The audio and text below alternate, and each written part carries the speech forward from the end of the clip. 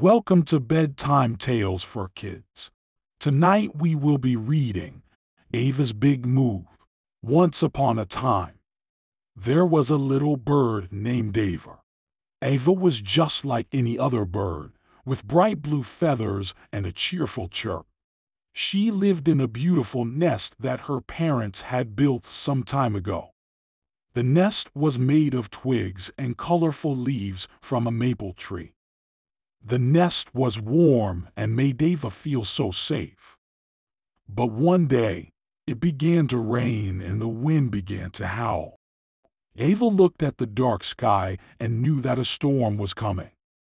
She flew out of her nest and sat on the branch of the tree that held her nest.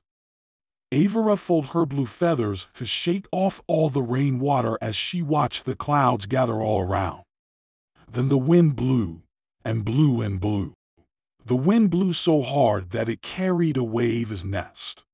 At first, Ava was sad and she was scared. She didn't know what to do. As the wind calmed, the rain stopped and the clouds disappeared. Ava got all the courage she had and flew to the top of the tree.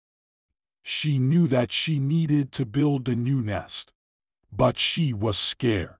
Then she remembered something her mother had told her when she was just a little hatchling. Whenever you're scared or unsure, just remember to ruffle your feathers, shake it all off, and put on a brave face. With those words in mind, Ava set out to find things to build her new nest. She searched high and low. She saw her friend's father mowing the lawn, so she picked up the grass with her beak. She flew towards a forest and saw lots of twigs on the forest floor, so she picked up the twigs with her beak. She saw a cotton ball swaying on the ground where an old lady just did her laundry. So she dived down and picked up the cotton ball with her beak. She gathered and gathered until her little beak could not carry any more. Soon enough, Ava had gathered twigs, cotton balls, grass, and leaves to make a cozy new home. But as she was building, she realized that it was harder than she thought.